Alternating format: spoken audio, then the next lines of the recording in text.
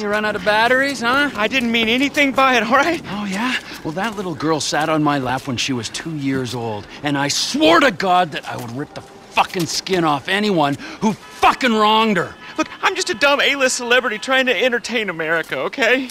I got a lot of stuff going on right now, dude, besides you trying to kill me. Now I got multiple sexual harassment lawsuits, plus I'm an addict, all right? And I've relapsed. Dad, you're embarrassing me. These are my friends. They're shooting porno here. They shoot porno all over town. Mom rented our house to them last summer. That was What? Your house? Yeah. Let's go. I can't stop jacking, dude. I jack it in traffic. What's your talent, huh? I mean, aside from love and sex. Dude, haven't you seen my show? It's not live, it's not funny. That's my genius. I got no fucking talent. You clearly ain't being humble, T.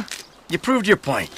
This is your daughter. You should be wanting to rip the fucking ponytail off the back of this guy's head. And you! Huh? Just don't kill me, okay? I'm supposed to be on a magazine cover next week. I got it all on my camera, you fucking pussy!